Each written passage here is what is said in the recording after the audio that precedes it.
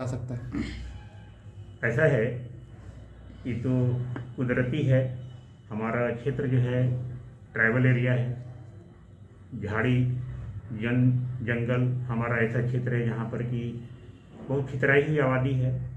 जंगल, पहाड़ ज़्यादा हैं। शुरू से ही आप देखे होंगे कि जितने भी वेब आए कंफर्टेबली पूरे देश की तुलना में हमारा ये क्षेत्र जो है बहुत हद तक जो है सुरक्षित रहा है।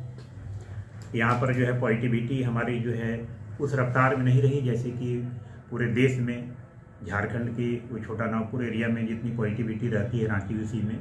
उसकी तुलना में हमारे यहाँ पहले से ही बहुत कम है। और जितने भी हमारे यहाँ संक्रमित हुए हैं, हमारा गुड लक है, हमारी किस्मत अच्छी है, कि वे सात दिन, आठ दिन में रिकवर कर जा रहे हैं। अभी तक किसी को भी हमको, हमारे डीसीएच में डीसीएचसी में भर्ती करने की ज़रूरत नहीं है। माइल्ड केसेस जो हैं, कुछ आए थे हमारे सिटिया में और अब गवर्नमेंट की गाइडलाइन ऐसी आ गई है जिसमें कि अगर कोई आदमी होम आइसोलेशन के लिए प्रे करता है तो हम लोग होम आइसोलेशन की परमिशन दे दे रहे हैं। सात दिन के बाद उसको जाँच कराने की ज़रूरत भी नहीं है। कराते हैं तो बहुत अच्छी बात है गाइडलाइन के हिसाब से हम उसको ऑलरेडी सात दिन आठ दिन में निगेटिव मान लेते हैं। तो इस इस हिसाब से हम देखते हैं तो हमारे यहाँ जो रिकवरी रेट बहुत अच्छी है कोई भी संक्रमण का ऐसा केस नहीं है जिसको कि हमको वेंटिलेटर पर रखने की ज़रूरत पड़ी है या ऑक्सीजन कॉन्सेंट्रेटर पर रखना पड़ा हो। तो ये अच्छी चीज़ें हैं जो पॉजिटिविटी हमको दिखाई पड़ रही है और जिलों की तुलना में हम लोग थोड़ा सेफर हैं। वैक्सीनेशन का जो स्थिति है वो अभी क्या चल रहा है सर जो सेकेंड डोज या फ़र्स्ट डोज का वैक्सीनेशन है।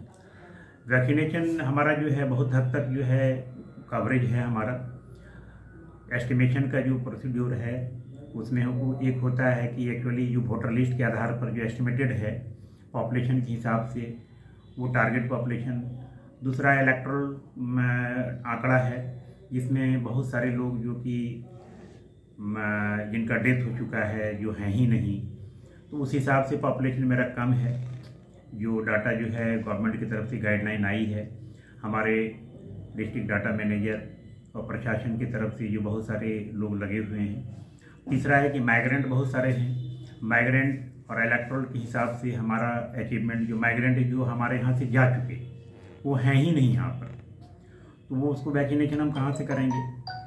उसमें भी दो बात हो सकती है कि माइग्रेंट जो है, जो हमारे गोड्डा जिला को छोड़ कर चले गए, उसमें से बहुत सारे लोग जो हैं वैक्सीन लिए हुए हैं और बहुत सारे नहीं भी लिए हुए हैं। लेकिन वो हमारे यहाँ है ही नहीं तो हमारा वैक्सीनेशन उस पर तो दे भी नहीं सकते हैं। उस हिसाब से अगर जोड़ घटाव किया जाए तो हमारा अचीवमेंट जो है, हम 95 परसेंट पहुँच गए हैं।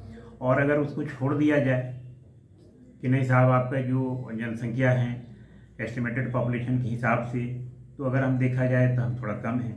लेकिन गवर्नमेंट की गाइडलाइन जैसी मिली है, हर ज़िले के लिए, उस हिसाब से इलेक्ट्रल और माइग्रेंट को लेकर चलना है तो उस हिसाब से हमारा अचीवमेंट जो है नाइन्टी फाइव परसेंट पहुँच चुका है। और जो है, बहुत जल्द जो है हम लोग और भी अचीव कर लेंगे। जो दो चार पाँच परसेंट बचे हुए हैं, उसमें वैसे लोग हैं जो गर्भवती महिलाएँ हैं और जो ऐसे हैं जो गंभीर बीमारियों से हैं, जो हम लेंगे ही नहीं और गर्भवती महिलाएँ भी है भाई नहीं लेंगे। तो वैसे पॉपुलेशन को जो है हम ज़बरदस्ती तो दे नहीं सकते हैं। तो वैसा भी तीन चार परसेंट पॉपुलेशन है। तो ये मान के चला जाए कि हम लोग छब्बीस तारीख जो हमारे मुख्यमंत्री का आह्वान है कि पूरा राज्य जो है वो हंड्रेड परसेंट अचीवमेंट हो जाना चाहिए। हम लोग भी उस लक्ष्य में जो है शामिल होते हुए नज़र आ रहे हैं। आगे तो किस्मत बताएगी कल का दिन।